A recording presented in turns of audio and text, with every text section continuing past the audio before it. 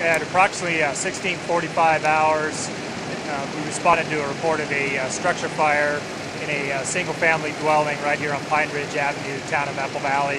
Uh, first arriving fire units uh, found heavy fire and smoke coming from the front doors and windows of the residence, as well as heavy fire to the back of the residence.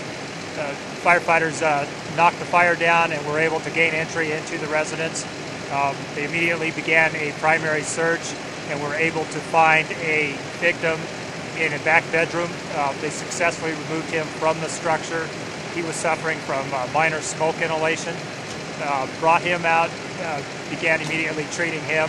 We went back into the house, uh, continued our uh, primary search, and was able to find a second victim in another bedroom to the rear of the residence.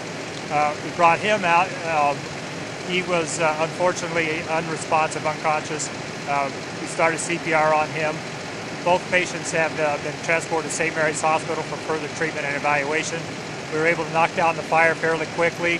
Uh, right now we've got uh, Sheriff Sergeant involved and our investigators on scene conducting an investigation to see if we can figure out what caused this, this fire.